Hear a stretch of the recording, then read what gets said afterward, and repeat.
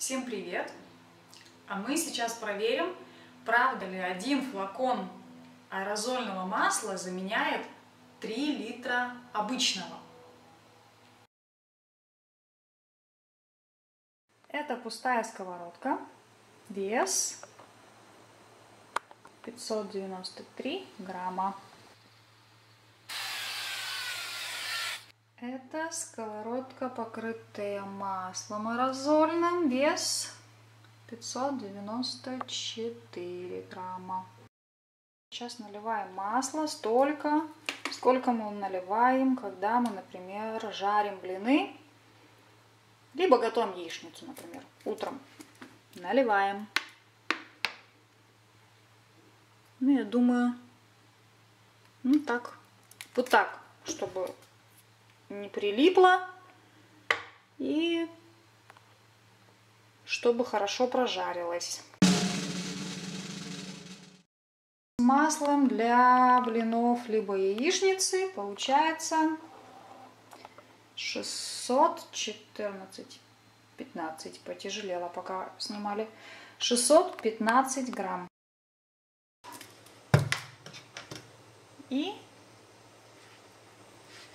это сковородка смазана щеткой. Получилось 594 грамма. Но эти вот штуки, которые всегда остаются на щетках, то, что когда-то сгорело, и не вымылась, конечно, меня убивают. Помимо того, что опять сейчас нужно будет эту щетку мыть и опять на сковородку ею что-то наносить. Ну что, под итог 1 грамм, 22 грамма. Соответственно, один флакон заменяет 5 литров масла, так как я его налила. Нальете в два раза меньше, заменит два с половиной литра масла.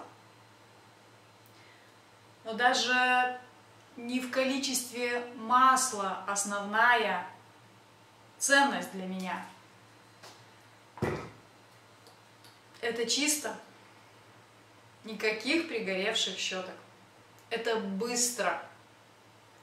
Это удобно. Это стопроцентное масло без добавок. Это полезно для моего здоровья. Ну и для фигуры.